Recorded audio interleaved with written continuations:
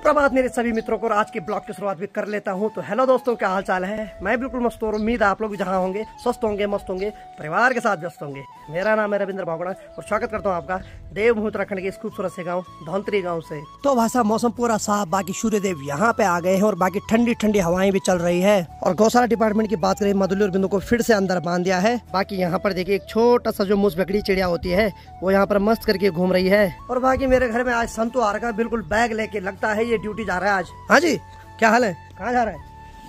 ओह नानी ओह मैंने सोचा भाई ये ड्यूटी भाग रहा है बिना मतलब बताए बताए। तो ये आज अपने नानी के घर जा रहा है और कब आएगा?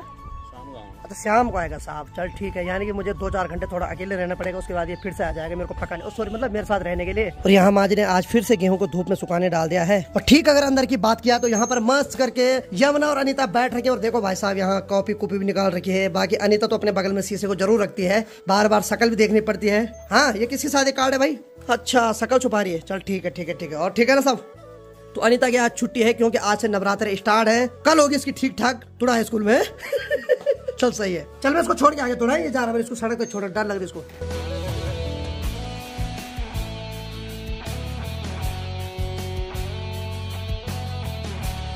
तो अभी मैं संतु के साथ सड़क के ऊपर तक जा रहा हूँ। तो संतु बोल थोड़ा सड़क तक चल, क्योंकि उसका कुछ मार्केट में भी थोड़ा काम है। उसके बाद वो जाएगा यहाँ से अपनी नानी के गाँव, यानी कि उसके नानी का गाँव यहाँ से। 20 से 25 किलोमीटर है और उस गाँव का नाम है पनियावा। तो आज ये वहाँ जाएगा, फिर शाम को वापस आएगा। यानी कि आज पूरे दिन भर इसको पचास किलोमीटर का सफ़र करना है, आना जाना। प्रणाम ऐसे मत भागा इसमत भागा, आराम से भाग। और ये है हमारे गाँव की माँ दुर्गा का खूबसूरत मंदिर।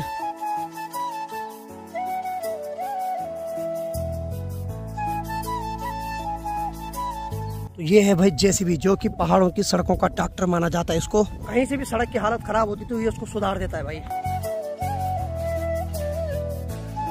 तो जिस गाँव में आज भी सड़क नहीं जा रखी है, उस गाँव में जो खच्चर है, उन्हीं के द्वारा ही ईटों को ले जाया जाता है। तो संतु अभी मार्केट जा रखा है तो अपना मार्केट का काम करके आएगा तो मैं यहीं पे खड़ा हूँ तब तक। क्योंकि भाई मैंने मोबाइल नहीं ढूंढ रखा यार जाऊँ मार्केट। तो चलो भाई, संतु भाई भी आ गया, किसी की स्कूटी मांग के, है? अरे मेरी बाइक ले जाता, क्या दिक्कत थी? तेरी है। भाई, ये किसी की भी गाड़ी को अपनी गाड़ी बता देता है। ये इसके अंदर क्वालिटी पहले से है भाई। तो चलो भाई, संतु ने मेरे को यहाँ पे छोड़ दिया बाकी संतु जा रहा अपनी नानी के घर। ठीक है भाई? जल्दी आना। इंतज़ार करूँगा तेरा, ठीक है? कितना टाइम लगाएगा तीन चार बजे चल, ठीक है ठीक है ठीक है। बहुत याद आएगा भाई, तू कसम से जा यार तू। चल, ठीक है ठीक है, चल। तो चलिए जी, संतु तो अपनी नानी को मिलने चले गया, क्योंकि दो तीन दिन में वो यहाँ से अब ड्यूटी चले जाएगा फिर से। तो वो थोड़ा अपने नानी लोगों को मिलके भी आ रहा है। वैसे तो अब गाँव में फिर से उदास लगने वाली, लेकिन अब ये कि एक दो शादी हमारे गाँव में तो अब उन एक दो शादी में गाँव के कुछ लोग ज़रूर आएँगे गाँव वापस। तो कुल मिला के बात है कि पाँच सात दिन तक तो रौनक है गाँव में। और फिर उसके बाद वही सन्नाटा यानी कि मैं फिर से अकेला।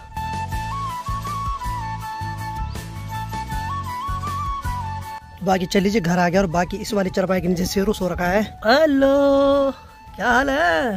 अरे वाह और लंबा सो गया सही है। यहाँ क्या हो रहा है? अरे वाह इसने तो कुर्सी लगा रखी उसको। हेलो अरे वाह वाह वाह क्या बात है भाई। इसके अंदर अलग ही टैलेंट है। है इसने चरपाई के ऊपर कुर्सी रखी हुई और कुर्सी के ऊपर खुद चढ़ी और वहाँ क्या कर रही भाई तू? हेलो क्या कर रही वहाँ? किताब ढूंढ रही? किस चीज़ किताब? है? तू कौन सी किताब ढूंढ रही है अंदर? भाई साहब, कोई खतरनाक ही काम करने वाली है। और बाकी यहाँ देखे, ये क्या बना रही अरे वाह भाई, मोबाइल से देख के। ले, पेन किसने मंगाया था? ज़ोर से बोल। ये सही है ये सही है। बाकी भाई अनीता का जन्मदिन था 16 दिसंबर को और 16 दिसंबर को हमने यहाँ हैप्पी बर्थडे वाला ये भी लगा रखा है। तब से हमने यहीं पे लगा रखा है। मैंने कहा जितने बर्थडे आएँगे सब इसी के आगे पे मनाए जाएँगे। तेरा बर्थडे कब है? ओहो इसको नहीं पता। चलो कोई नहीं गूगल पे सर्च मारूँगा मैं। ठीक है? बाकी चलिए दिन के साढ़े बारह बजे मैं थोड़ा नहा लेता हूँ अब। ये लोग तो लगे यहाँ भाई साहब यूट्यूब चलाने पे। हेलो मेरा ब्लॉग भी देखो ठीक है। Thank you thank you thank you और यहाँ की बात करें तो भाई साहब, यहाँ इतना ठंडा है कि भाई साहब, पानी अभी गर्म करके नहाना पड़ रहा है। चलो भाई, पानी गर्म हो गया। इस खतरनाक भोजन को हटाते हैं। देखो, बीच में जब ये जल गया था तो इसमें मैंने पन्नी से बांधा तब जाके जुगाड़ कर रखा है। माही वे माही वे, आजा बे माही वे रे। बहुत गर्म है भाई। चलो भाई, अब नहाते हैं पहले। तब जाके ब्लॉग कंटिन्यू करते हैं गाइस तो दिन के साढ़े बारह बजे मैं भी एकदम नहा गया हूँ और बाकी माँ ने जो गेहूँ सुखाने डाल रखे हैं वो भी करारे हो गए हैं। ठीक सामने से देखिए माँ भी आ गई है कंडी में घास लेकर। आइए आइए भोगना जी आइए। स्वागत है आपका। आज आप टाइम से घर आ गए भाई। धन्यवाद धन्यवाद। धन्यवाद है? है धन्यवाद। कसम से। चलो बढ़िया तो माँ ने मधुली और बिंदु के लिए खाना ला दिया है। सच बताऊँ तो जब माँ खेत से आ जाती तो उसके बाद थोड़ा दिल में और खुशी आ जाती कि माँ भी आ गए साथ में खाना खाने के लिए। क्योंकि अक्सर ऐसा होता है कि हम लोग खाना खा लेते लेकिन माँ शाम को खाती है बेटाइम खाना और अकेले खाती है। हाँ जी खाना बन गया? क्या बनाया? पता नहीं। हटो जरा। अरे वाह ये बन रखा है इनका खाना यहाँ देखो। आलू इन्होंने छिल के काट रखे हैं बाकी यहाँ प्याज भी काट रखा है टमाटर भी धनिया भी सब चीज़ काट के रखा हुआ है और खाना बढ़िया है? वाह भाई वाह। बाकी यहाँ देखिए ये देखो। चोर ऐसे छुपते हैं भाई। ये देखो। है? अच्छा तू चोर नहीं है क्या? तो फिर क्यों छुप रही है? तू इंसान है? पक्का? पक्का इंसान है ना तू? हाँ, तब ठीक है। चलो भाई इसने बोल दिया इंसान है बोल। और तू क्या है शैतान? आर यू शैतान? क्या? नो नो नो नो है? चल ठीक है ठीक है। जल्दी बनाओ खाना ठीक है? माँ जी भी आ गए अब। तो देखिए अभी कितना अच्छा दृश्य दिखाई दे रहा है। यहाँ पर अनीता है ठीक वहाँ पर माँ भी बैठ रखी है। और यहाँ की बात करें तो ये शर्मिली देवी देखो यहाँ। इसने मेरी टी शर्ट ओढ़ ली। ए इधर दे दे इधर। हाँ अब टावल को ओढ़ेगी। अब ये चश्मा पहनेगी पता नहीं क्या क्या करेगी भगवान जाने। और यहाँ पर देखो अनिता ने आजकल चिल्लर इकट्ठे कर रखे अपने लिए। कहा दिल्ली से तो नहीं किया इकट्ठे? हाँ पहले के हैं। पहले से? हैं। दे दे इसके नाम पे दे दे उसके नाम पे दे दे। बाकी चलो जल्द जल्द खाना बनाओ माँ को भूख लग गई ठीक है? आई माँ बोल रही नहीं नहीं मेरे को भूख नहीं लगी बल मैं रोटी खा के गए बल यानी कि माँ ने सुबह एक रोटी खाई और उसी को पचा रही अभी भी है। तीन गिलास भी चाय पिए धन हो प्रभु। यानी कि माँ का इंजन चाय के लिए बना हुआ है भाई बस। मस्त कर खाया अरे वाह बिस्कुट भी मस्त करके खाया माँ ने। ये भी सही है ये। लाया हाँ। तो माँ बोल रही तुमने बस दिल्ली से बिस्किट लाए और मैंने मस्त करके खाए। क्या हिंदी है भाई माँ कसम फिदा हूँ माँ आपकी हिंदी पे। हाँ भाई तुम भी कुछ बोलोगे कुछ टैलेंट तुम्हारे अंदर है तो बताओ। कुछ नहीं है खत्म है ये भी ये भी सही है। और तेरे अंदर कोई टैलेंट? हाँ शकल छुपाने का नहीं? ये भी सही है। तो दिन की एक बज गई है, और यहाँ पर अनीता ने सबके लिए खाना लगा दिया है। तो सर्वप्रथम हमारी माता श्री चखेंगे। हाँ जी, चखो जरा। हाँ खाओ जरा। और आज के खाने में बना रखा है आलू का झोल और चावल। खाइए तुम चाखिए, कैसा है स्वाद? टेस्ट है? बता दिया आपने, टेस्टी है। अब हम खाएँगे भात। ये यहाँ पर सो रखी, उठ जा मेरी प्यारी। तेरा खाना ठंडा हो गया, नहीं तो भूख से मारेगी चिल्लारी। आजा, यमुना। शाबाश, आजा। यहाँ पर यमुना का खाना है, यहाँ पर मेरा है और बाकी माँ तो खाने लग गई है।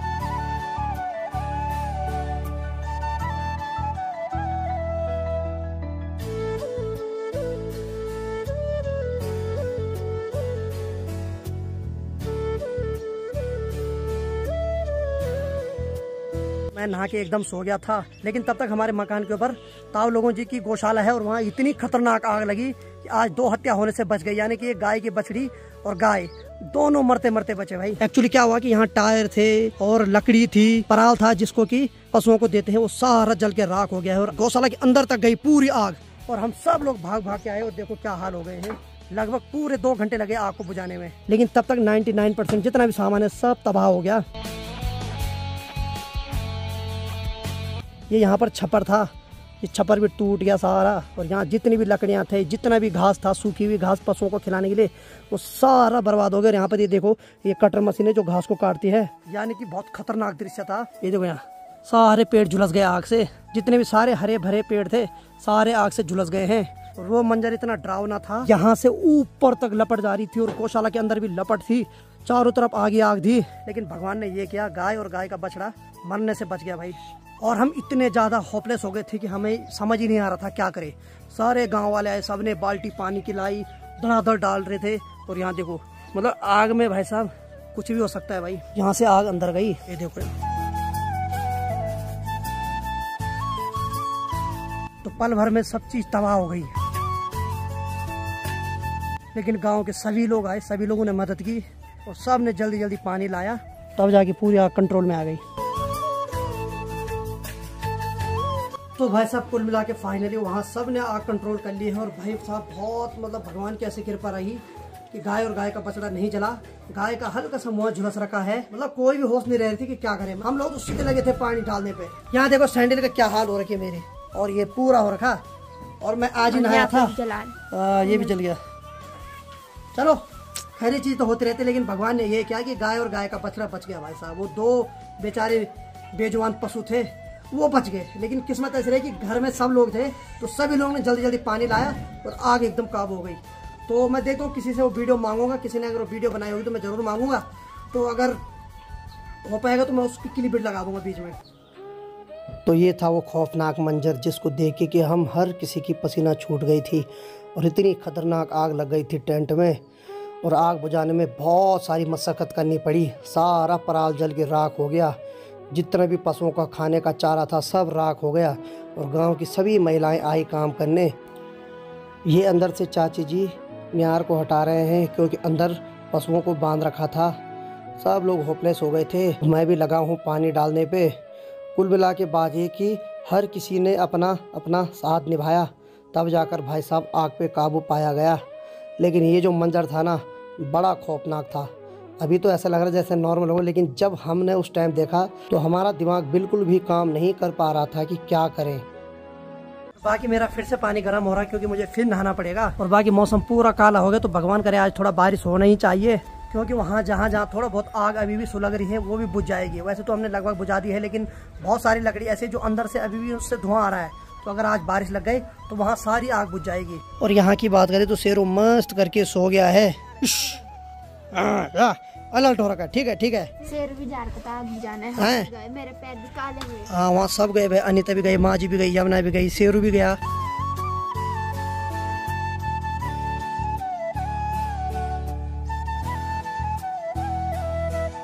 तो फाइनली मैं नहा गया और बाकी कपड़े भी चेंज कर दिए हैं और भगवान ने सुन ली है क्योंकि बारिश लगने लग गई है। और आज इस बारिश के लिए सबने दिल से बहुत प्रार्थना की तो भगवान ने आज लगभग सभी की सुन ली है। और मधुली और बिंदु को अंदर बाँध दिया है।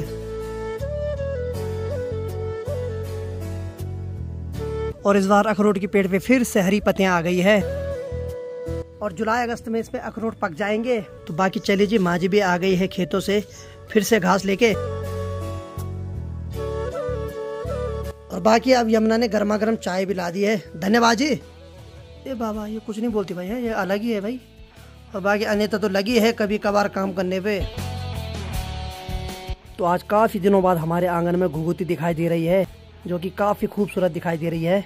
और जो बारिश के आसार थे, वो हल्की फुल्की बूंदा बांधी हुई, उसके बाद पूरी बारिश रुक गई और पूरा जो चौक है, वो एकदम सूख गया है। बाकी आसमान तो काला हो रहा है, लेकिन बारिश मुश्किल लगी है अब।